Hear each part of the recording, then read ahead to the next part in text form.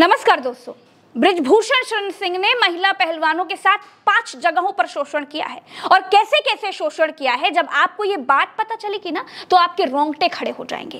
दोस्तों, पहली जगह है होटल में, दूसरी जगह है ऑफ़िस में, तीसरी जगह है अशोका रोड, दिल्ली वाले बंगले पर, चौथी जगह है कंपटीशन के दौरान, और पांचवी जगह है वार्म अप करते हुए। दोस्तों इन पाँच जगहों पर भारतीय जनता पार्टी के सांसद, महिला पहलवानों के साथ शोषण करते थे। ये बात महिला पहलवानों ने थाने में दर्ज अपनी एफआईआर में बताई थी।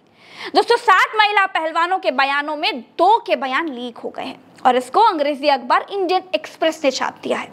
आरोप अगर सही है तो ऐसी स्थिति में भारत के प्रधानमंत्री का चुप रहना शोषण को पोषण करने जैसा दिखाई देता है। दोस्तों, महिला पहलवानों ने अपनी एफआईआर में क्या बताया है? किस तरीके से और किस किस बहाने से आखिर बीजेपी के सांसद ब्रजभूषण शरण सिंह पहलवानों का शोषण करते थे? उनको किस बहाने से छूते थे? वो भी आपका जान लेना बहुत ज़रूरी है।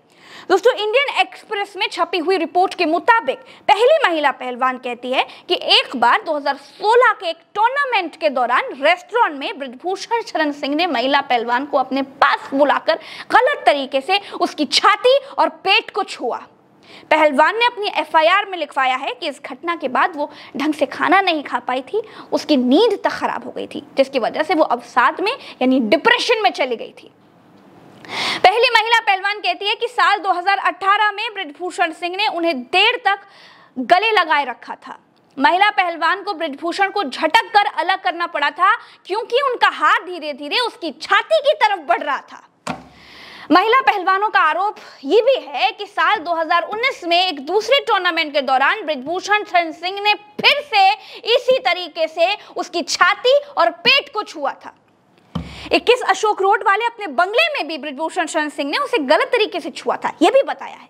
ब्रिजभूषण शरण सिंह के घर में ही भारतीय कुश्ती संघ का दफ्तर भी है।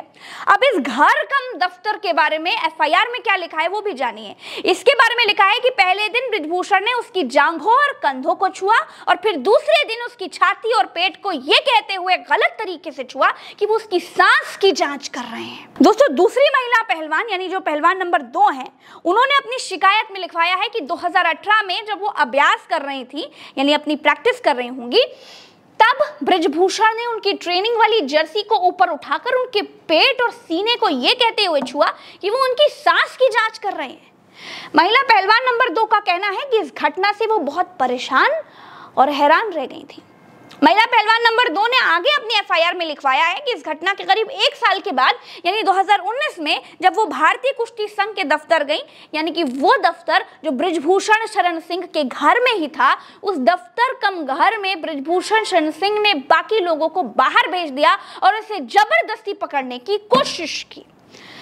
सोचिए दोस्तों, ब्रजभूषण शरण सिंह तो कुश्ती संघ के अध्यक्ष थे। सारे नियम, कानून, रूल रेगुलेशन कुश्ती आखिर कैसे आगे बढ़ेगी, सारे इंतज़ाम कैसे होने हैं, किसको आना है, किसको जाना है, किससे मिलना है, नहीं मिलना है, ये सारी बातें अध्यक्ष की ज़िम्मेदारी होती है। ये सब का ख्याल रखना अध्यक्ष की ज़िम्मेदारी में होता है। अब ब्रजभूषण शरण सिंह कोच तो थे नहीं। ना ही कोई डॉक्टर है, न थे ना ही सांस रोग के विशेषज्ञ थे तो फिर महिला खिलाड़ियों की साँसें क्यों जांचते थे? ये सवाल भी है। महिला खिलाड़ियों के ऑक्सीजन लेवल की चिंता कुश्ती संघ के अध्यक्ष को आखिर क्यों थी? और क्या किसी महिला पहलवान की सांस जांचने का अधिकार कुश्ती संघ के अध्यक्ष को है? अब ये आपको सोचना है। इसी सवाल के साथ आज का वीडियो मैं यही समाप्त करती हूँ। सोचिएगा नमस्कार। जय हिंद।